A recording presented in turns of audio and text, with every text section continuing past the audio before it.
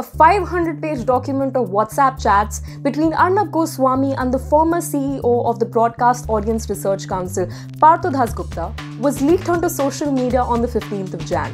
The chats reveal controversial conversations between the two about buying judges, manipulating TRPs, Arnab's closeness to the Prime Minister's office, a lot of flack about other TV news anchors, and most importantly, the Balakot airstrikes and netizens came in support of Goswami, alleging that the leak was on purpose by anti India forces to frame him, which is misleading.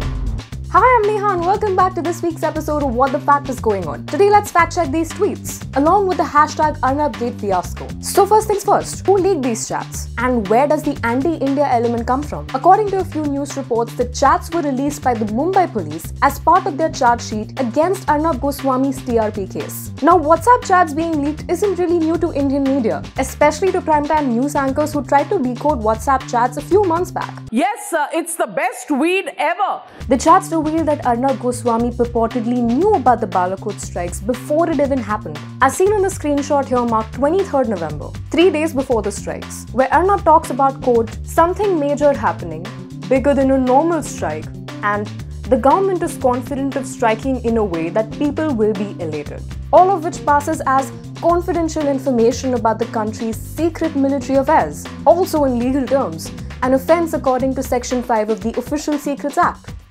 This drew Pakistan's Prime Minister Imran Khan calling out Arnab Goswami in his tweet. Now, this is where the alleged anti-India forces comes to play. Republic issued an official statement where they quote rejected the allegations of the Pakistan government and also called his accusations an anti-India conspiracy against Republic TV. So here's why we labeled this claim as misleading. Republic TV hinted at Imran Khan's allegations about the WhatsApp chat leaks as a conspiracy against him in simple words implying that there was a Pakistani slash anti-India involvement in the leaking of his controversial WhatsApp chats. You know, trying to make it like a Pakistan versus India issue, without any proof. Neither Republic nor Arnab Goswami have addressed the WhatsApp chat leaks directly, thereby making this claim misleading. Hey!